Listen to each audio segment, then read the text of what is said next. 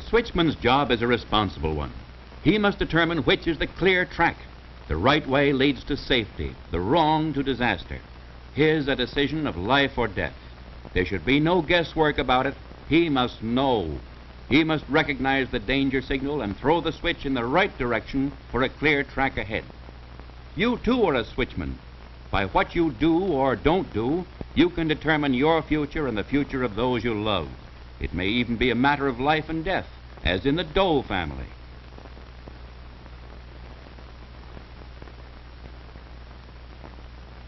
That's John Doe, just an average American at the head of the table.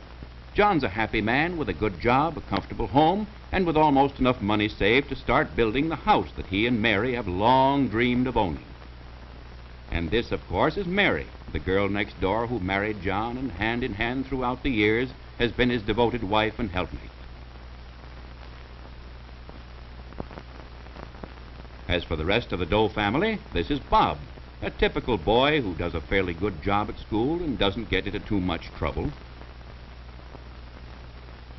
Last, but by far not the least, is Jane, who thinks that Mommy is the prettiest lady and Dad the nicest man in the whole world.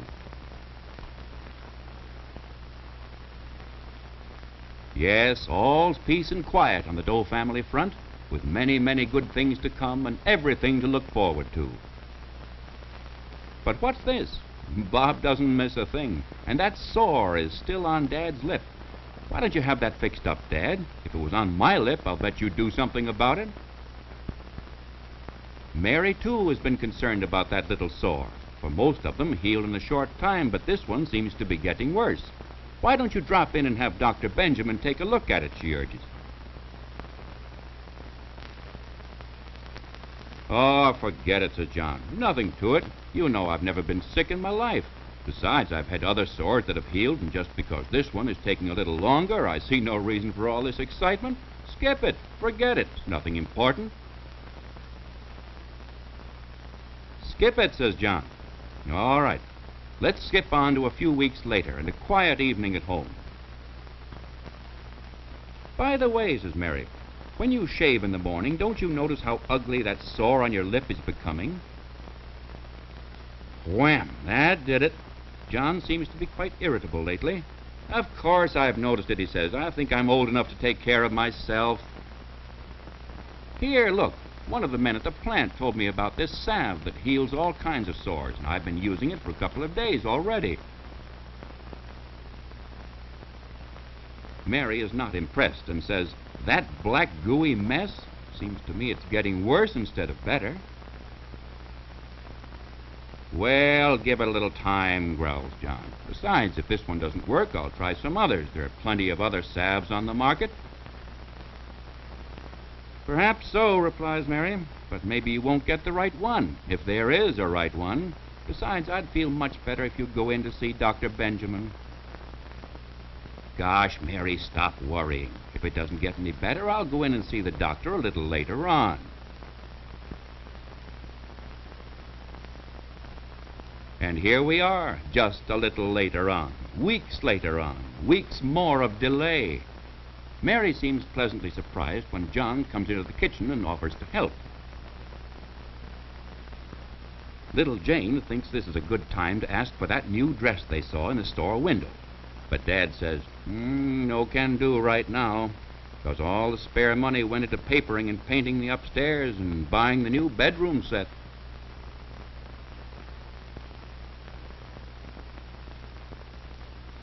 Lately, John seems a little subdued. Perhaps it's because that sore is getting worse. And besides, he's noticed another sore or lump in his neck.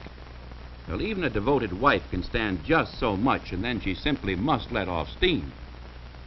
Listen here, John Doe. There'll be no more dilly-dallying around. Tomorrow, rain or shine, you're going to see Dr. Benjamin.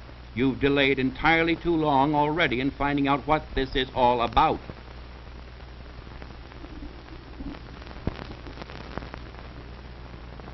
So, after weeks of delay, John eventually gets to the doctor.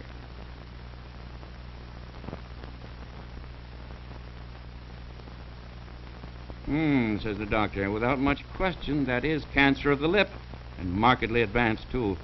It's off to the hospital for you, John, while I have an examination made under the microscope for part of this sore.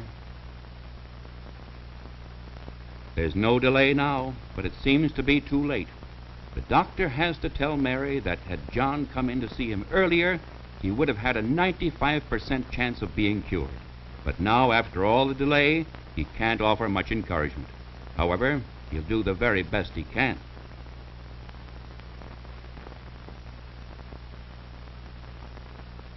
Not many weeks later, poor Mary is entirely on her own. The fullback of the Doe family team is missing, and she has to carry the ball all alone.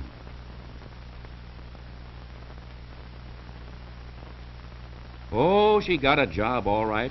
Bob helps take care of Jane, but it's not the same with John not there. If he'd only known the danger signals that might mean cancer and had acted on them, how different things might have been. Speaking of danger signals, let's return to our switchman. When he really knows his danger signals, when he acts promptly to protect lives, and throws the switch for a clear track ahead to health and happiness. Let's look in on the Doe family again and see what happens when John recognizes the warning signal and acts at once. Remember that first night when Bob and Mary spoke about the small sore on his lip? Remember how he said, Oh, forget it, skip it. Remember how, through lack of knowledge, indecision, and delay, he wrecked the whole Doe train? Well, that's what would have happened if Mary hadn't seen that small circular at the drugstore that afternoon and brought one home to show John.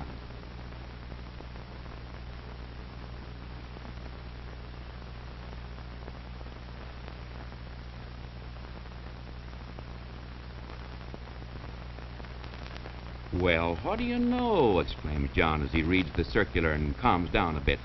Maybe you're right. Perhaps I'd better drop in on Dr. Benjamin just to be on the safe side. And while we're on the subject, Mary, you'd better come in along, too, for a checkup. Uh, get the doctor on the phone. Find out if he can arrange to see us in the morning.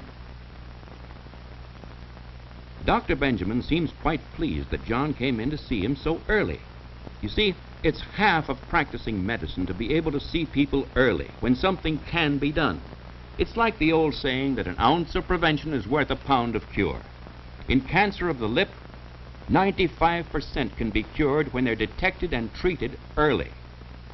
The doctor is suspicious that it is cancer, and on the assumption that it is, until proven otherwise, he'll have a small part of it examined under the microscope.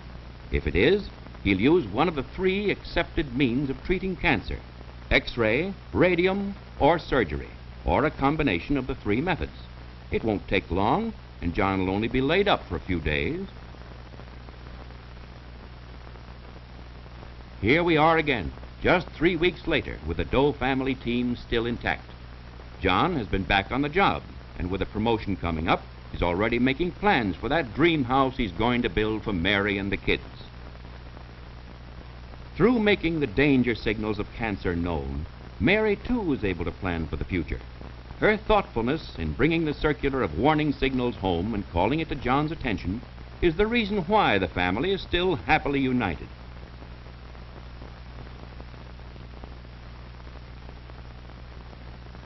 As for Bob and Jane, all they know is that Dad's here and Mommy's here and everything is dandy.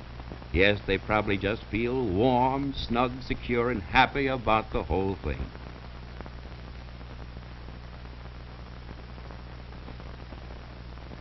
Cancer can often be cured. The hope of cure lies in early detection by the individual and the physician. You owe it to your family and yourself. See the difference between early treatment and when cancer is moderately advanced.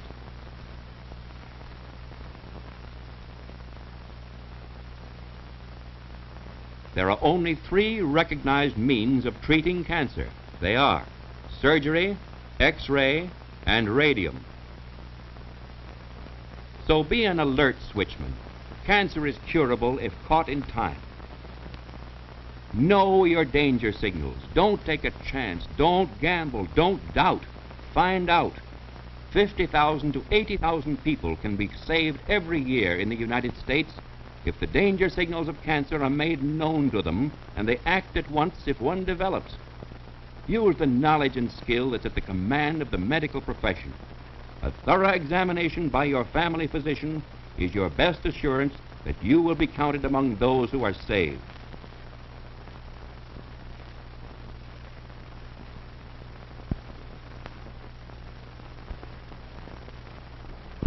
Throw the switch in the right direction for a future of health and happiness.